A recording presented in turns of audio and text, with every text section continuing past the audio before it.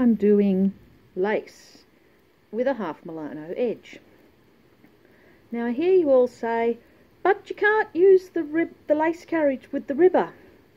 Well, no, technically not, but you can. It's just tedious. So I'll show you what I've been doing. Um, so I've got my camera set, I've got my, my ribber set up, my, my lace to knit. I'm using pattern 152. It has columns of stockinette stitches, just makes life a little bit easier. So you set your ribber stitches onto those edges where the columns of vertical stitches, vertical stockinette falls. And you um, are just using brother lace.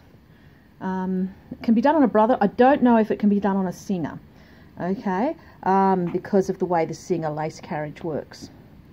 Just the usual setup for the ribber. Um, on half Milano, here you can see I've got tension 4 on the machine and tension 6 on the ribber.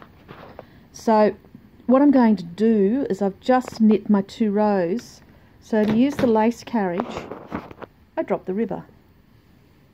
Alright, drop it down one notch. Then I'm going to grab my, excuse the camera work, I'm trying to do this one-handed. Lace carriage.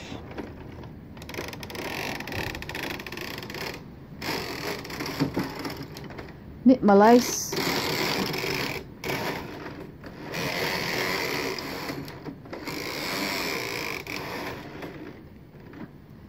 that stitch just popped up there. You just got to watch that. So make sure that the lace carriage is all the way off the end of the bed. Put the ribber up.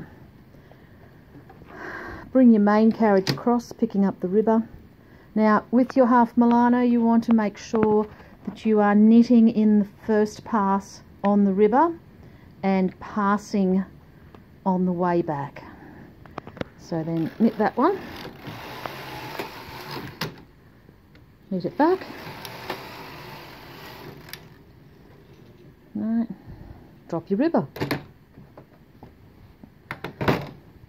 And now you can knit the lace carriage again. And that's how you knit a half Milano edge on a brother machine with a ribber using the lace carriage, which you normally cannot do. Um, I was inspired by a friend who showed me this um, scarf she wanted replicated and it had a Milano edge. And I was like oh my god I can't do that. And I've just worked out how to do it. It's a bit tedious um, and you probably may not want to do it all the time but it is definitely doable. Okay